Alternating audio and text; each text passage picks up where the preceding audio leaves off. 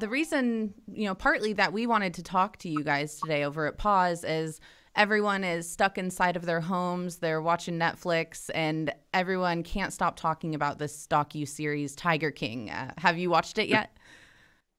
Uh, yeah, I, it was kind of in my job description to to watch that. Uh, they actually came and interviewed me for that show. No and, way. Yeah, they did, and and uh, in fact, the the uh, producer, I think he's been here a couple of times, and also he came to our conference and interviewed several people there, uh, including me again.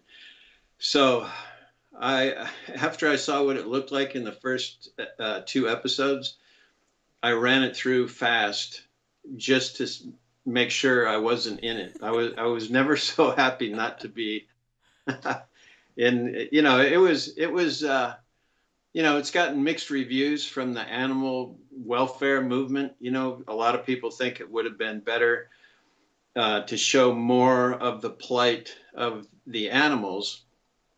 But I, you know, the the people in the show, to me, it it wasn't uh, surprising.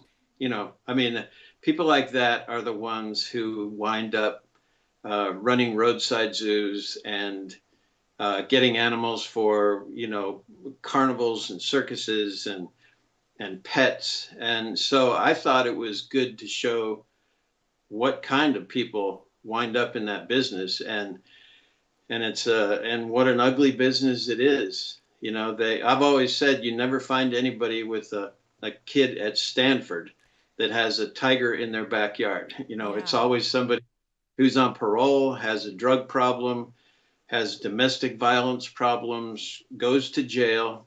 Uh, I counted up the other day. We've taken 50 tigers from people who either went to jail or had been in jail. And so it didn't really surprise me that that's uh, that that you know that it was so shocking to everybody else.